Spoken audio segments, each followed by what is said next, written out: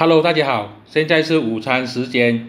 有股友就问这个 VIS，他就问零点七零是不是一个好的买点？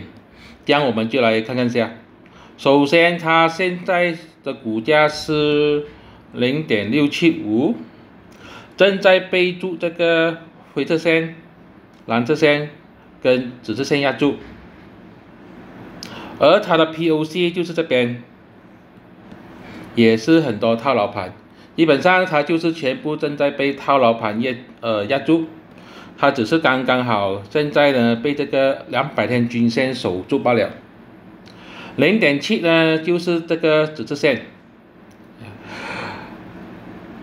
老实说，如果真的是要进场的话，要安全的话，最少都要等它突破这个灰色线，也就是零点七五，是一个。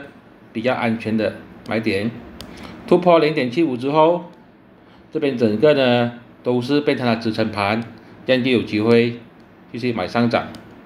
如果是零点七的话，是这边嘛，这边还有很多套牢盘正在压住它，这个就不是很好。